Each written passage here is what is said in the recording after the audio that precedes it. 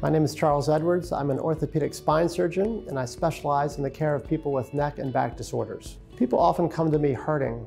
They've been suffering with a neck or a back condition for a while. Once I and the patients together understand the source of their pain and their problems, then we lay out the appropriate treatment options. They typically range from living with the symptoms versus improving their health with weight loss and exercise, pain management, physical therapy, medications, and sometimes surgery.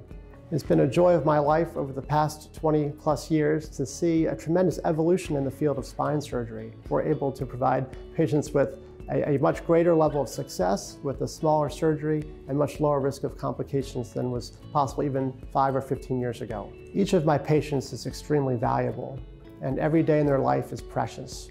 And so if I can help them to restore a quality of life, that's not only a tremendous blessing for them and their families, but also for me and our staff.